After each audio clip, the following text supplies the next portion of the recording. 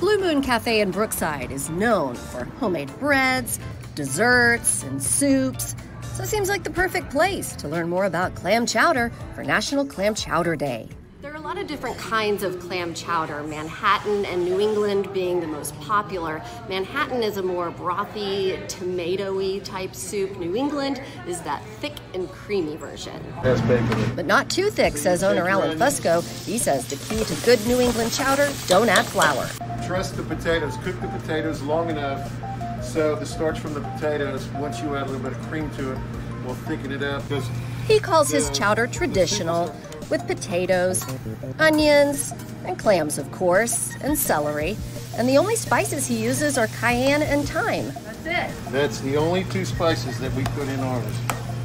And people go crazy. I've had people say, I'm from the East Coast and this is the best chowder I've had since I moved away. Top it with parsley, and you're good to go. I can't believe I've lived this long and never had clam chowder before, so I'm gonna give it a try.